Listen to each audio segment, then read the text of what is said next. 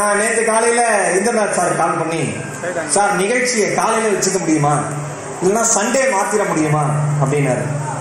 நான் கேட்டேன் மாத்திர முடியுமா சார் அப்படின்னு கேட்டேன். சார் சொன்னார் இல்லை சார் நாங்கள் ஆயிரக்கணக்கான இன்விடேஷன் அடிச்சு கொடுத்துட்டோம். இதுக்கு மேல என்னால எதுவும் நீங்க அப்படியே ஷார்ப்னஸ் கம்மி பண்ணி யார் ஆடியோ என்ன ஷார்ப்னஸ் கம்மி பண்ணிடுறீங்களா போதுமே. மாற்ற முடியாது சார் அப்படின்னாரு. பொதுவா வந்து எனக்கு இருக்கிற ஒரே நல்ல பெயர். நான் நல்லா பேசுவேன் விஜய் டிவியில் வரேன். நான் வந்து ஒரு என்னோட எஜுகேஷனல் குவாலிஃபிகேஷன் நீங்க தெரிஞ்சுக்கலாம் தவறில்லை.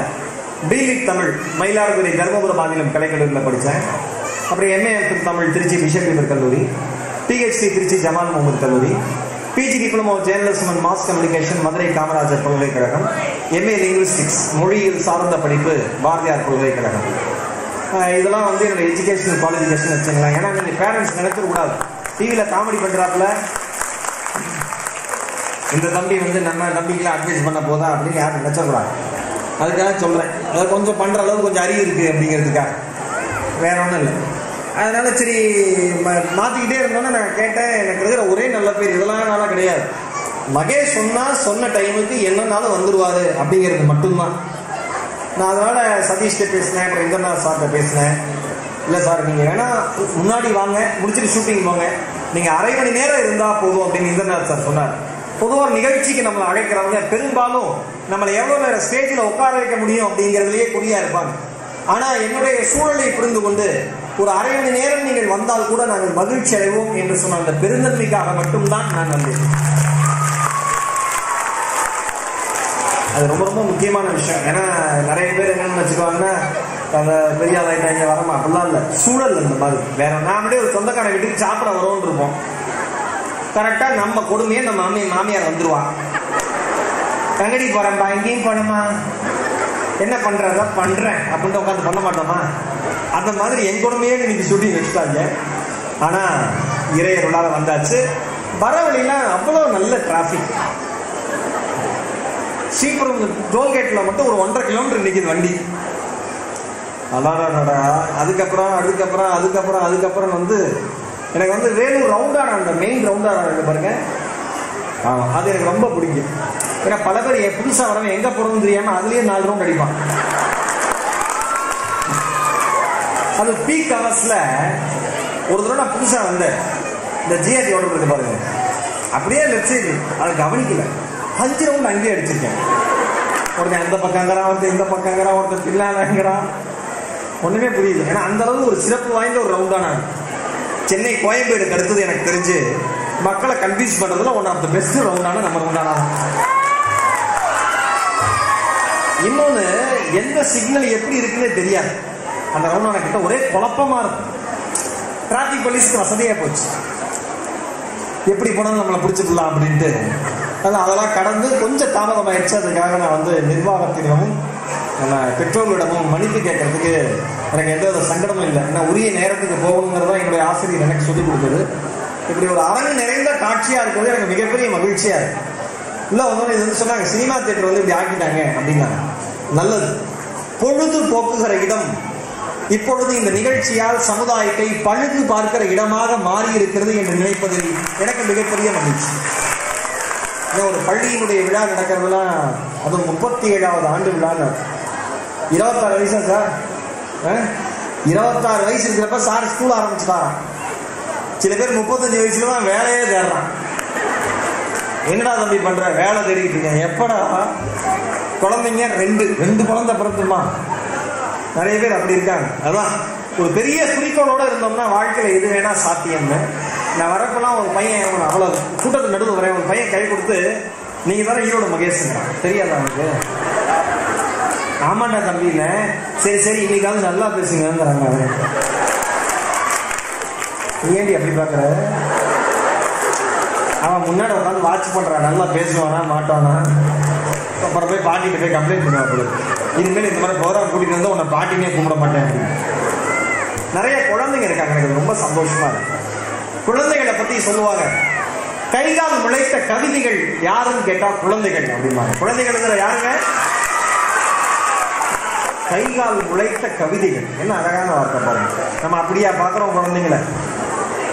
ஓ பேரண்ட்ஸ் வந்திருக்கீங்களே. ஸ்கூல் லீவுன்னு ஸ்கூல்ல சொல்லி அமைச்சிட்டாங்கன்னா போதும். வீட்டுல அம்மா அப்பா ரியாக்ஷன் லீவா குழந்தைங்களுக்கு லீவு பேரண்ட்ஸுக்கு லீவா எவ்வளவு நாள்ரா? டூ டேஸ் எதுக்கு? தெரியலம்மா தெரியலையா? தெரியாததுக்கே ரெண்டு நாள் லீவ் விடுறாங்களா? இந்த ஆனுவல் எக்ஸாம் வந்ததுன்னா இவன் நல்லா எழுதுவானா மாட்டானா அப்படிங்கிறத பயத்தை விட அடுத்த ஒன்றரை மாசம் வீட்டுல உட்காந்து நம்மள கொலையா கொல்ல போறாங்க ஐயா. அதுதான் பேரண்ட்ஸ் இருக்கிற பயமே கரெக்டா அவ்வளவு பயம் இன்னைக்கு. பசங்களை சமாளிக்க முடியல. ஏன்னா அவ்வளவு ஸ்மார்ட்டா இருக்காங்க அவ்வளவு கேள்வி கேட்கறான் கேள்விக்கு பதில் சொல்ற அளவுக்கு உங்களுக்கு பொறுமை கிடையாது. உங்களுடைய பொறுமை வாணிராணியை பார்ப்பதிலும் சரவணன் மீனாட்சியை பார்ப்பதிலும் உங்கள் வம்சத்தை பற்றி கவலைப்படாமல் வம்சத்தை பார்ப்பதிலும் இதுலதான் ஒரு அண்ணன் கை காமிக்கிறார். அந்த மனுஷன் எவ்வளவு பாதிக்கப்பட்டு சீரழிஞ்சு ஏன்னா பல பேர் வீட்டுல ஆம்பளைகள் சீரியல் டைம்ல வந்தா புருஷனாவே மதிக்கிறது இல்லை அன்னைக்கு ஒரு- தெரியாம என் ஒய்ஃப் டிவி பார்த்துட்டு இருக்கா? தெரியாம நான் நடுவுல போயிட்டேன். டிவிக்கு நடுவில். அந்த ஒரு சீன் கட்டாய் போச்சான் எங்க எங்க தெருவுல ஓசியில டிவி அந்த கிழவிங்க ஓசியில டிவி பார்க்க வரும். அது குடும்பத்தை ரெண்டு பண்ணிடும். சீரியல்ல குடும்பம் ரெண்டு ஆகும் நம்ம குடும்பம் நாலு அஞ்சு ஆகி போயிடும். அப்படி கிராஸ் பண்ணி போறேன் ஒரு கிழவி கேட்கறா எந்த நாய்க்கு குறுக்கு எடுக்க போறது? அதுக்கு எம்மன் நாட்டுக்கு நம்ம வீட்டு நாய் தாங்கம்மா. சீரியல் பண்ற வேலை இருந்து பாருங்க அதனால சீரியல் பார்க்கறது உங்களுக்கு எவ்வளவு ஆசை இருக்கும் அதை விட கோடிக்கணக்கான ஆசை உங்கள் குழந்தைகள் மீது இருக்க வேண்டும். அதை நல்லா புரிஞ்சுங்க. நீங்க வந்து எக்ஸாம் டைம்ல குழந்தைங்களை வந்து ஒரு ரூம்ல போட்டு பூட்டிட்டு படி வெளியில வராத அப்படின்னு சொல்லிட்டு கிளாஸ்ல டீ காப்பி வச்சுட்டு இந்த சைட உட்காந்து ஹால்ல டிவி பாத்தீங்கன்னா அவன் சந்து வழியா நீங்க என்ன பாக்குறீங்கன்னு பாத்துக்கிட்டு இருப்பான். உள்ள படிக்க மாட்டான். சரியா? அதனால பெற்றோர்களுக்கு முதல்ல நான் சொல்லிடுறேன். உங்கள் குழந்தைகளுக்காக சில தியாகங்களை நீங்கள் செய்ய தயாராக இருக்க வேண்டும். ரொம்ப அழகா சேர்மன் சார் சொன்னார் இந்த நாள் சார். செல்போன் வாங்கி கொடுத்துறீங்க அப்படின்னு. உண்மையிலே செல்போன் வாங்கி கொடுக்காதீங்க. உங்க குழந்தைங்க ஸ்கூல் எஜுகேஷன் முடிக்கிற வரைக்கும் செல்போனே வாங்கி தராங்க அப்படி வாங்கி தந்தாலும் இந்த ஆயிரம் ரூபாய் ஆயிரத்தி ஐநூறு ரூபாய்க்கு ஒன்று இருக்கும் சார்ஜ் எத்தனை? ஆறு நாள் இறங்காது தனியா ஆன் பண்ணி வச்சுட்டு போனா கூட ஆறு நாள் இருக்கும் அப்படியே. சரியா? அந்த மாதிரி ஒரு சாதாரண போன் வாங்கிட்டாங்க ஏன்னா எவ்வளவு எவ்வளவு டெக்னாலஜி நல்லதோ அவ்வளவுக்கு அவ்வளவு டெக்னாலஜியை தவறாக பயன்படுத்துகிற பழக்கம் சூழல்னால உங்க குழந்தைங்களுக்கு வந்து ரொம்ப அழகா சொன்னாரு அதை நான் வலிமையா நம்புறேன். சில பேர் செல்போன் பேசிய காக்கா வலி பந்துலாம் செத்துருக்காங்க. பைக்ல போறப்ப சில பேர் பாத்தீங்களா இப்படியே போவாங்க. ஏன்னா அவர் எடுத்து நின்று பேசி கூட போக நேரம் இல்லை. ஏன்னா ஏன்னா நிமிஷத்துக்கு ஆயிரம் கோடி டேர்ன் ஓவர் பண்றாப்ல அந்த வேலூர் பஸ் ஸ்டாண்ட் தாண்டோட நரேந்திர மோடி வெயிட்டிங் இவர்கிட்ட பேசிதான் என்ன முடிவு எடுப்பாப்ல அதனால இப்படியே தான் போவாங்க நம்ம. இதை வந்துடுறேன்.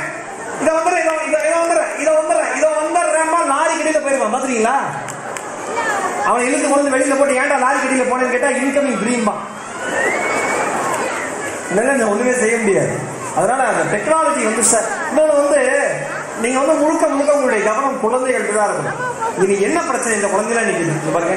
ஒரு அக்காவை பாக்குறேன் குழந்தைக்கு பிஸ்கட் வாங்கிட்டு அது தின்னுக்கிட்டு ஒன்றரை மணி நேரம்.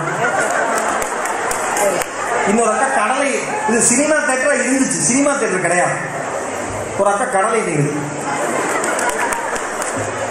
மொத்தத்துல ஃபங்க்ஷன் பார்த்து வந்த மாதிரி இல்ல. நீங்க ஏதாவது டூருக்கு வந்த மாதிரி இனிமேல் ஒரு பிஸ்கட் இனிமேல் உள்ள போச்சு. உங்க யாருக்கும் நைட் செரிக்காது சொல்லிட்டேன் ஆளப்ப குழந்தைகளுக்கு.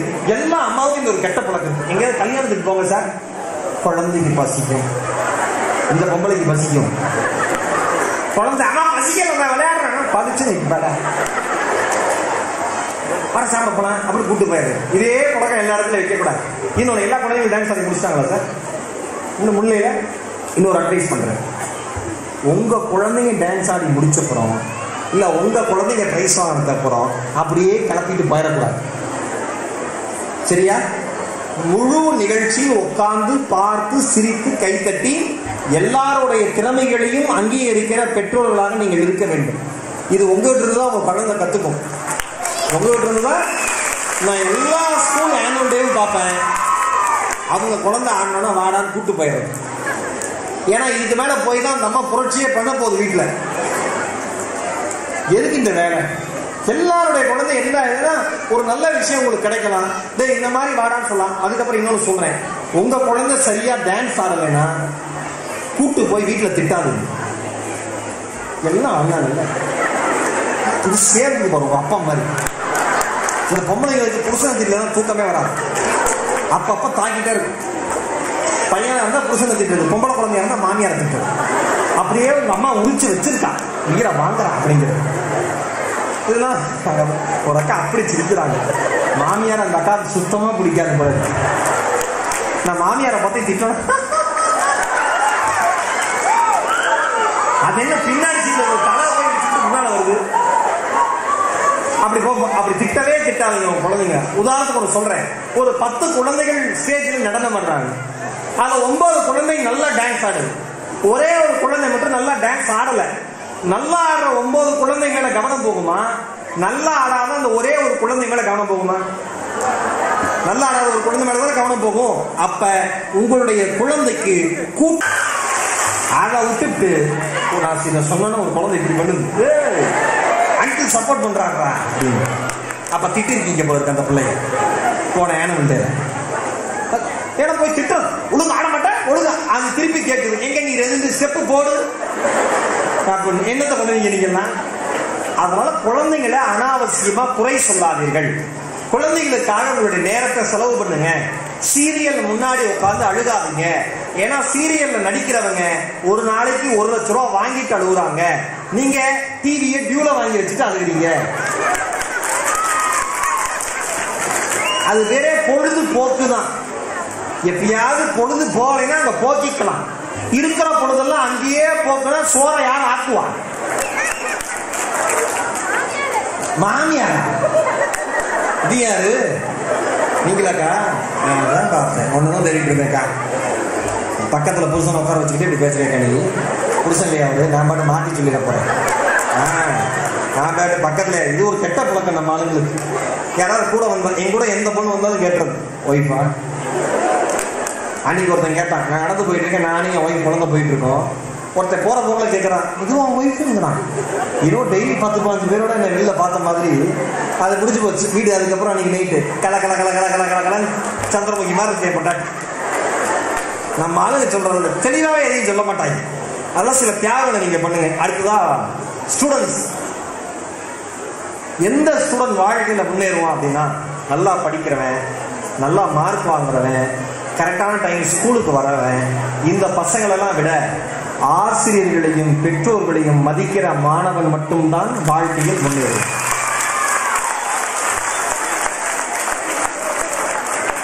டீச்சர் நம்மள நீங்க நீங்க ஏதாவது சேட்டை பண்ணுறீங்கன்னா டீச்சர் பயங்கரமா திட்டுவாங்க. கோபமா வரும் நமக்கு வந்து ஃப்ரெண்டு கிட்ட சொல்லுவோம் மச்சான் செம்ம டென்ஷனா இருக்கு என் நேரம் என்னையே காரணம் பண்ணுறாப்புல ரொம்ப டீச்சர் அந்த மிஸ் சரியில்லை அந்த அம்மா பாடம் சரியா நடத்துறது நம்மளை திட்டுதுடா. அவன் மிஸ்ஸையே குறை சொல்றது எல்லாமே அவங்கள திட்டுவாங்க அவங்கள அடிப்பாங்க சில சமயம். ஆனா ஸ்டாஃப் ரூமுக்கு வந்து நீங்க பண்ண நீங்க செஞ்ச குசும்ப குறும்ப சக ஆசிரியர்களிடம் பேசி சிரிப்பாரு இதுதான் ஆசிரியருடைய பக்குவம். இதை தயவு செஞ்சு நீங்க உணர்ந்துக்கணும். நான் எல்லா ஸ்டேஜ்லயுமே சொல்ற ஒரு விஷயம். அப்துல் கலாம் அவர்கள் வந்து ஜனாதிபதியா பதவி ஏற்ற உடனே அடுத்த நிமிஷம் நீங்க யாருக்கு நன்றி சொல்ல விரும்புறீங்கன்னு கேட்டப்ப தன்னுடைய தாய் தந்தையருக்கோ ப- கல்லூரி படிப்புல வந்து தன்னுடைய வளையலை கழற்றி கொடுத்த தன்னுடைய சகோதரிக்கோ அவர் நன்றி சொல்லல. யார் தெரியுமா நன்றி சொன்னாரு? ஆரம்ப காலகட்டத்தில் என்னுடைய பள்ளி படிப்பு தடைபட்ட பொழுது அந்த கல்வி கட்டணத்தை செலுத்தி என் கனவுகளுக்கு சிறகை தந்த அப்பாதுரை சாலமன் என்கிற கிறிஸ்துவ ஆசிரியரும் சிவசுப்பிரமணிய ஐயர் என்கிற இந்து ஆசிரியரும் இணைந்து தூக்கிவிட்ட இஸ்லாமிய குழந்தைதான் இந்த அப்துல் கலாமாக ஜனாதிபதியாக உங்கள் முன் நிற்கிறேன் என்று சொன்னார். ஒவ்வொரு இடத்துலயும் ஒரு ஆசிரியருக்கு நன்றி சொல்லுவார். அதனாலதான் அந்த மனுஷனுக்கு உலகமே நன்றி சொல்லுது. டாக்டர் அப்துல் கலாம் அவர்கள். நினைச்சு பாருங்க. அந்த மாதிரி ஒரு மனுஷன் கிடைப்பாரா? காரணம் ஆசிரியர்களுக்கு எப்பொழுதும் நன்றி சொல்றோம் நம்ம ஸ்டூடெண்ட்ஸ் பண்ற ஒரே தப்பு ஆசிரியர்கள் மேல கோபம் தான் படுவோம். நாளைக்கு வளர்ந்து கிளந்து நம்ம பெரிய நம்ம ஆசிரியர்கள் நம்ம ரொம்ப மிஸ் பண்ணுவோம். பேரண்ட்ஸ் இந்த இடத்துல ஒன்று சொல்ல விரும்புறேன் ஸ்கூல்ல பையன் அவன் ஸ்கூல்ல இருந்து பையன் வந்தோடனே அழுதுகிட்டே வரான். ஏன்னா அழுதுகிட்டு வரேன்னு கேக்குறீங்க?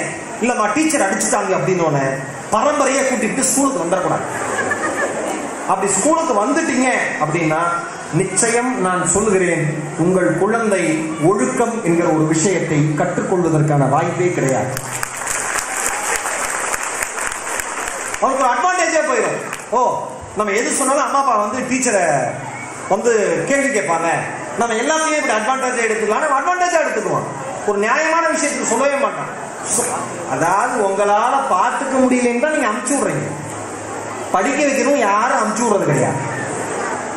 ப்ரீகேஜில இருந்து இருக்கா சார் நம்ம ஸ்கூல்ல இருக்கு. நான் படிக்கிறப்பெல்லாம் பால்வாடின்னு ஒன்று இருக்கு. வீட்டில் தூங்குறது அங்கே போய் தூங்கணும். தூங்கலைனா தான் மிஸ் அடிப்பாங்க. எனக்கு இன்னும் ஞாபகம் இருக்கு. மிஸ் தூங்கு பெல் அடிக்கும் எழுப்பி போடா. தெக்கு மேஸ் வேணும் அவ்வளோதான் இதுதான் அப்புறம் ஸ்ட்ரைட்டாக ஒன்றாகும் இப்பெல்லாம் ப்ரீகேஜி ப்ரீகேஜி யாருக்காக கண்டுபிடிச்சது? ஸ்கூலுக்காகவா பேரண்ட்ஸ்க்காக எப் எத்தனை வயசுல ஸ்கூல்ல சேர்க்கலாம்? பிறந்தோன்னு பிறந்து குழந்தை தொட்டில் இருக்கு அந்த அம்மா கேட்குது எப்ப ஸ்கூல்ல சேர்க்கலாங்க ரெண்டரை வயசுல ரெண்டரை வயசு வரைக்குமா? அப்ப பெத்துட்டு அங்கேயே போட்டு வந்துருங்க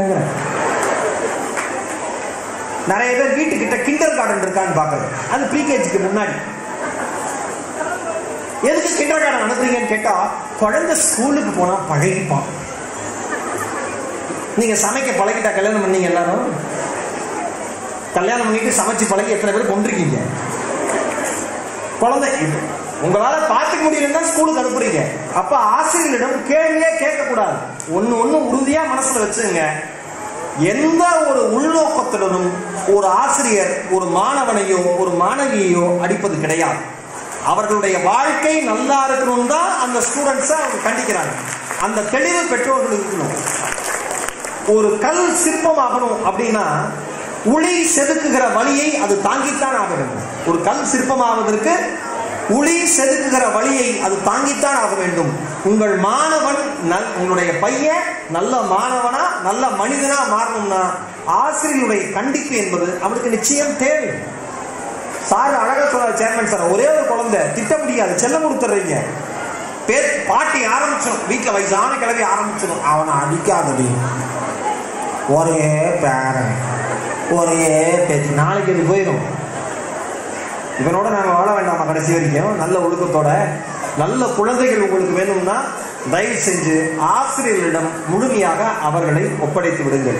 அப்படி ஒப்படைக்கப்பட்டவர்கள் தான் வாழ்க்கையில் மிகப்பெரிய உயரங்களை தொற்றிருக்கிறார்கள் நான் எல்லா ஸ்டேஜிலுமே என்னுடைய ஆசிரியர்களுக்கு நன்றி சொல்லுவேன்.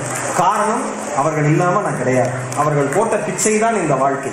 ஒரு நூறு நூத்தம்பது ரூபா சொல்லியிருக்கேன் விஜய் டிவியில எங்க ஆசிரியர்கள் பேர். டாக்டர் சேவச்சந்திரன் ஐயா doctor Damodaran sir doctor Mansoor sir. எல்லாரும் அவங்க- அவங்க உடனே யாரோ சொல்லி அவங்களாம் ஃபோன் பண்ணுவாங்க. என்னப்பா மறுபடியும் எங்க பேரை சொன்னியாமே? அப்படின்னு. உங்கள் பெயரை சொல்லுகிற வரைக்கும் தான் என் பெயரை இந்த உலகம் சொல்லும். உங்கள் பெயரை எப்பொழுது நான் மறக்கிறேனோ அப்பொழுதே இந்த உலகம் என்னை மறக்கும். இது ஸ்டூடெண்ட்ஸ் ஒரு பொண்ணு இந்த பிள்ளை பாட்டு நல்லா காமெடியா பேசுவாங்கன்னு சொன்னாரு. அப்பன்னு பார்த்தா இவ்வளவு சீரியஸா பேசுறாரு. ஏன்னா நல்ல கூட்டம் சில நல்ல விஷயங்களை பகிர்ந்துக்கலான் தான்.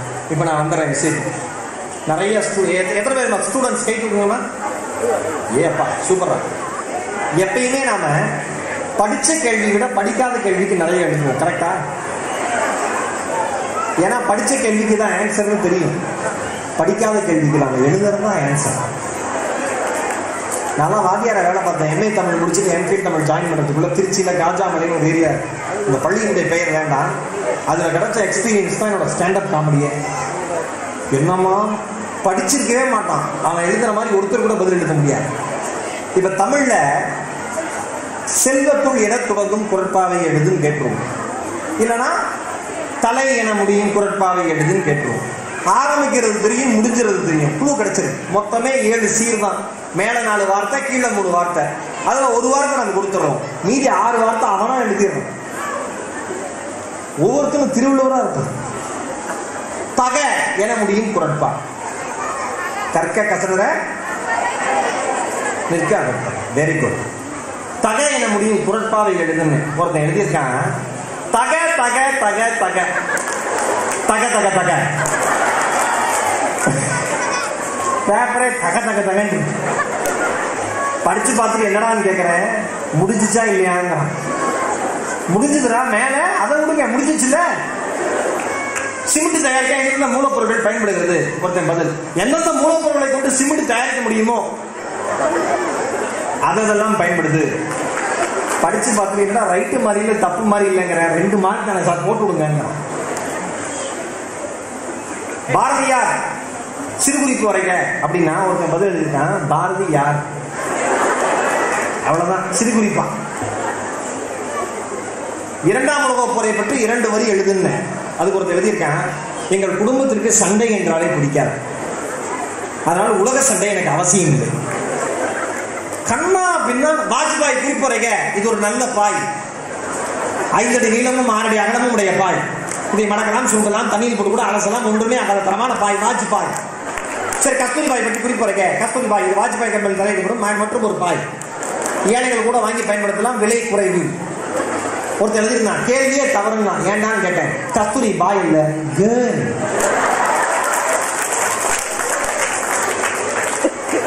எவ்வளவு கிரியேட்டிவிட்டி பாருங்க அவனுக்கு ஒண்ணும் இல்ல. குழந்தைங்க மனசு வந்து ரேடியோ மாதிரி. ஒரு ரேடியோவை டியூன் பண்ணீங்கன்னா சரியான அலைவரிசையில வச்சீங்கன்னா நல்ல பாடல்கள் உங்களுக்கு கேட்கும். கரெக்டா அது ரேடியோவோட ஆயுசுக்கு நல்லது கேட்கிற காதுக்கு நல்லது. நம்ம வீட்டில் இருக்கிற பசங்களும் அதே மாதிரி.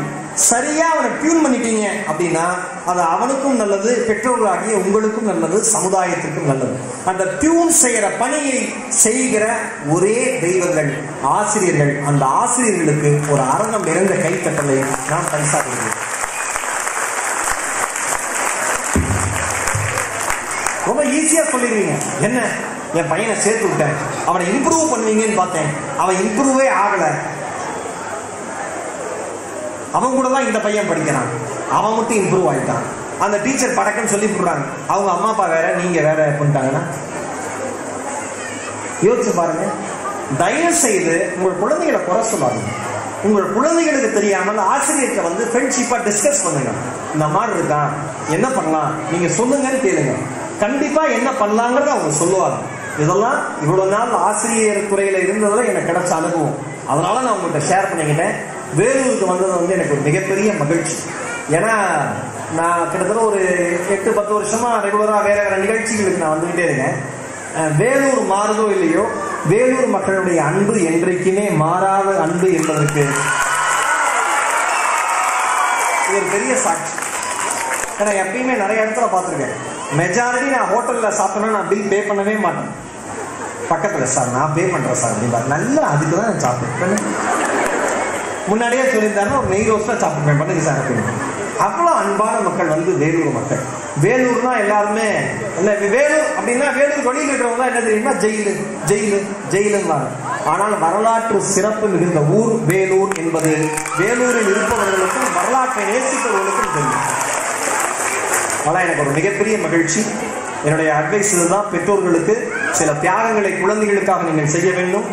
உங்க குழந்தை வந்து ஏதாவது டீச்சர்ஸை பத்தி கம்ப்ளைண்ட் பண்ணா உடனே குடும்பத்தோட வந்து ஏன் அப்படி பண்ணீங்க? அப்படின்னு கேட்டீங்கன்னா அதுக்கப்புறம் நிச்சயமா உங்களுக்கு முதியோர் இல்லம் கன்ஃபார்ம்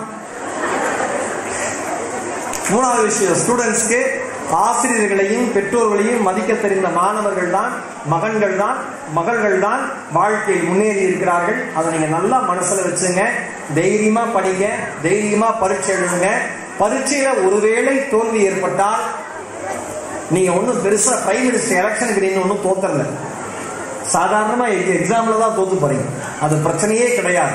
யார் யாரெல்லாம் வாழ்க்கையில் தோல்வி அடைந்திருக்கிறார்களோ அவர்கள் தான் வரலாற்றில் மிகப்பெரிய வெற்றியை எட்டி பிடித்திருக்கிறார்கள் என்பதை நீங்கள் மறந்துவிடக்கூடாது.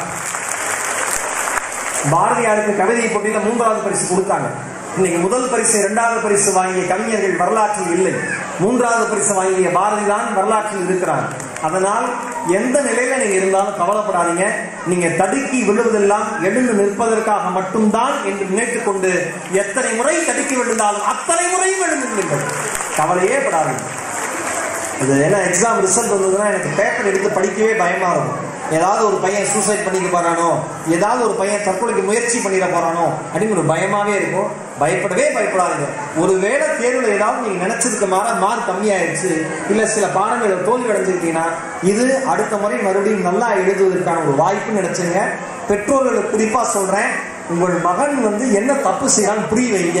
அவருடைய மனசை காயப்படுத்துறாதீங்க இது ஒரு நல்ல வாய்ப்பு. இந்த நல்ல வாய்ப்பை தந்த ஒரு நல்ல கல்வி குழுமம் ஒரு அருமையான மனிதர் ஏன்னா ஒரு மனிதர் வந்து இருபத்தாறு வயசுல ஒரு ஸ்கூல் ஆரம்பிக்கணும்னு எண்ணம் வந்தது வந்து ஒரு மிகப்பெரிய ஆச்சரியமான விஷயம். சின்ன வயசுல எல்லாருக்கும் பிசினஸ் ஆரம்பிக்கணும்னு என்ன இருக்கும். மற்ற மற்ற எண்ணங்கள் இருக்கும்.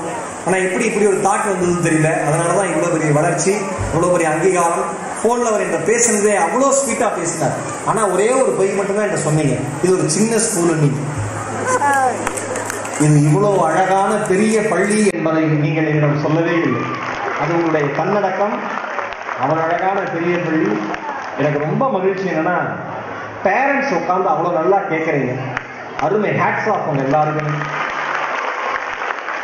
நிறைய பேரண்ட்ஸ்க்கு பொறுமை இருக்காது.